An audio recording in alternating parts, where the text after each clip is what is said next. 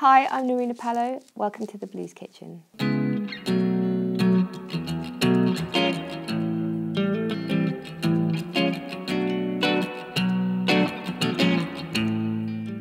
Nerina Pallot is a British songwriter, singer, and producer.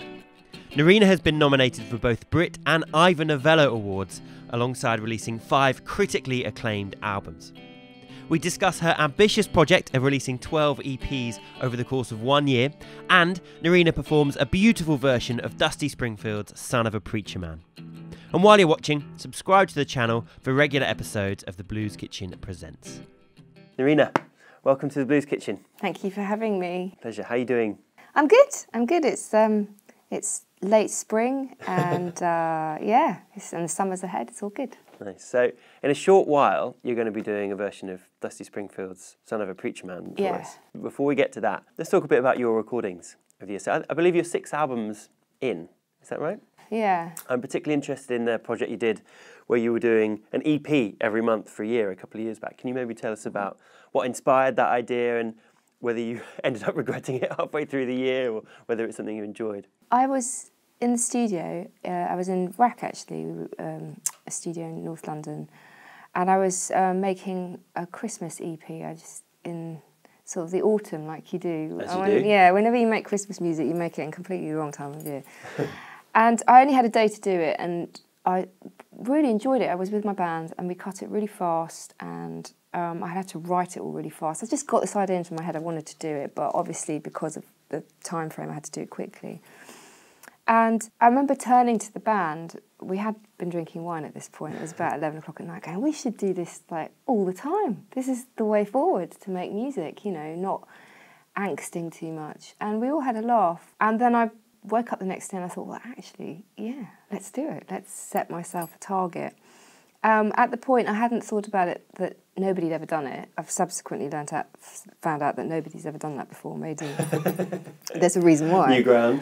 but it became this I don't, it was a real it was really interesting because it taught me a lot about myself as well and writing in a much more disciplined way and having to write I was making five songs per EP per month but um, I obviously didn't want them to be five crap songs so I would write 10 songs a month and then whittle it down to five and I had to keep doing it. I had to show up. I had to break out of my lie in bed till eleven, whatever, and get up every morning and keep bankers hours. there Um, must have been moments where you're just like, oh, really? Yeah. Am I doing this? yeah, what happened was in the in the January, I, I put it to my fans on social media. I'm going to do this, and I said, and there'll be a subscription model. You can either buy them monthly, or if you pay now, I'll give you the whole year for a reduced price. And I thought literally like ten people will sign up. Well, loads of people signed up, and I was like.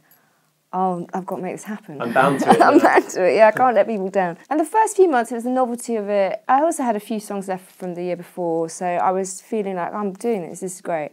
And then I hit a block, and Oh, that was no. really interesting because I really was like about four or five days where nothing was coming, and then And four or five days out of a whole month. yeah, quite a chunk. didn't have time. So what I found was that whenever I hit a block, I would turn it on on its head, and instead of being really sort of like navel gazing and right for me, I would be like, imagine I was writing for another artist, or imagine I had a brief, or and I have to write in certain parameters. And it was it was really great because I suddenly made myself try music I've never tried before. Um, sometimes musicians weren't around, so there's a few EPs I made the whole lot on my own. So I had to start. I used to play bass a lot years ago. Weirdly, I hadn't played it for about a decade. I started playing bass again. You know, there's some I'm even playing drums on. So it pushed me to just have fun, be resourceful. And when I got to the end of it, I, I, I was really like, I was quite proud of myself. Not necessarily some of the work I listened to, I'm like, oh, that was a bit rushed. But to set an ambitious project and see it through. Let's have a bit of a chat about the tune you're going to perform for us in a moment. You're going to do Dusty Springfield's Son of a Preacher Man. Yeah. For a lot of people my age, I think they first heard that tune through um, the Tarantino film Pulp Fiction, I believe. Um, but it's on Dusty in Memphis, which Yeah. I, I admit I discovered after that film soundtrack, which is an incredible record. Incredible record. A. British uh, singer going out to record in Memphis, hence the title. Um, but when did you first hear it, and what, what effect did it have on you when you first heard the tune? I can't remember the first time I heard it because I've always heard it. My mum is a massive Dusty fan, so I grew up listening to those records. Um, that sound was always on, and then I was a, I was um, your bog standard cover singer for years when I was trying to break into the music business, and mm. that was the one song I would sing at nearly every gig. Um, but weirdly, uh, until till now, I've never played it. I've only ever sung it. And when I sat down to learn it, I was like, how has it escaped me that this is a blues? It's just a blues, mm-hmm. and yet in because the orchestration is quite quite something. You know, the, the, the, that record is a fabulous record. I'd never realised how simple it is because to me it was this great, amazing symphonic moment in time. You know. And there's that incredible key change into the middle eight where everything moves up a gear and you're like, wow, it's a different country altogether. um, and she's so understated when she sings it. It's not, it's not a big old thing that for the last chorus. kind of husk that she has. Yeah, and that's why I love her. You know, she thinks she's really. Uh, is she underrated, or I, I, worry that she might be forgotten? Um, I just think that because she's British, a lot of people think that's an American song. Yeah. And the fact it's recorded over there. I, I, think that if you were to say who sung Son of a Preacher Man to maybe the average person, they might say uh, Aretha Franklin, perhaps. Yeah. Um, I think Aretha's done a version of it. I think so, yeah, yeah. And it's one of those things where it's like everyone knows a song, but maybe not necessarily whom yeah. it's by in the first place. Yeah. But I think once they get hooked and then they discover Dusty in Memphis, they're like, wow. Yes, Windmills of My Mind is on that record. Yeah, well, it's it? an amazing record. Well, I reckon on that note, it's probably time to introduce your performance, if that's all right. Of course. Um, this is Dusty Springfield's Son of a Preacher Man.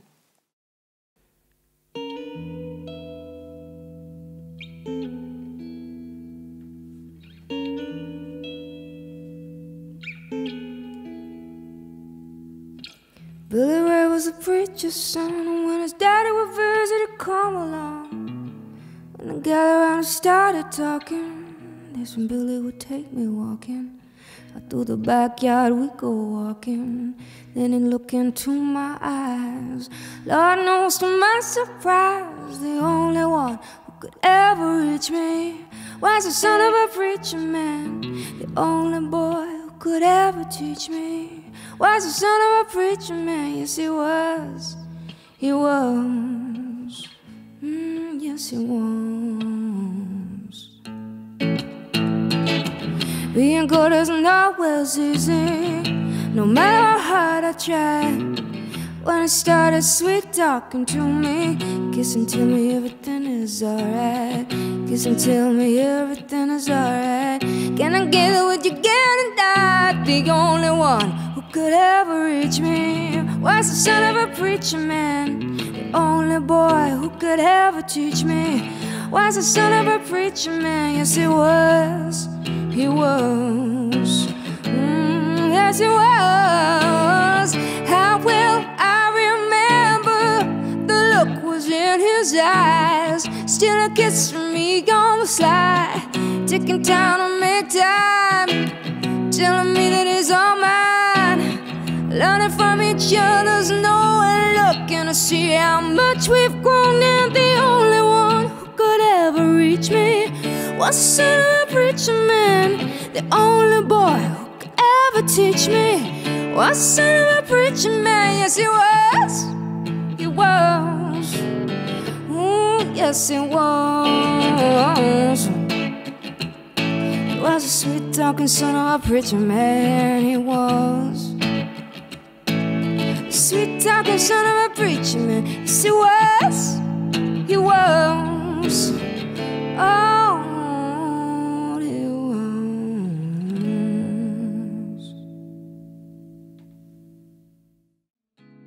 Subscribe to the Blues Kitchen for live performances and interviews with the hottest blues, soul, country, and roots musicians in the world today.